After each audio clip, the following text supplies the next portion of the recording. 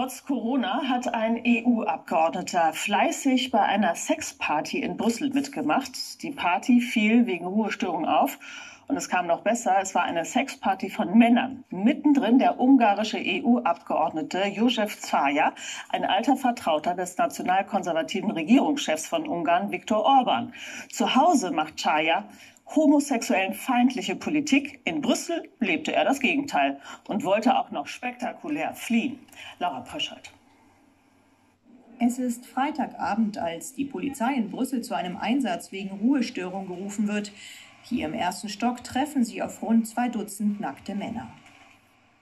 Beim Eintreffen der Beamten war eine Sexparty im Gange. Um die 20 Personen waren anwesend.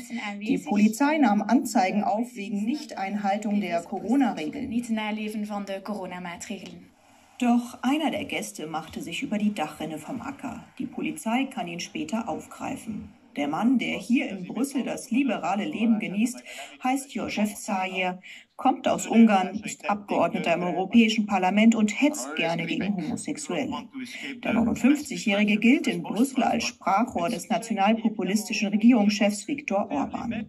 Nun hat er sein Amt niedergelegt. In seinem Statement heißt es, dieser Fehltritt ist rein privater Natur und ich bitte alle, das nicht mit meinem Land und meiner Partei in Verbindung zu bringen. Erst vor einer Woche hat die ungarische Regierung eine Verfassungsänderung durchgebracht, wonach zu einer Familie ausschließlich Mann und Frau gehören dürfen. Was für eine Heuchelei des Europapolitikers. Hier fand die Party statt und der Organisator ist gar nicht überrascht.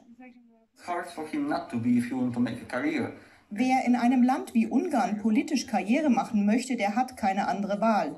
Ich sehe, dass gerade besonders konservative Parlamentarier hier bei den Sexpartys dabei sind. Far right ones, uh, are present on the sex parties.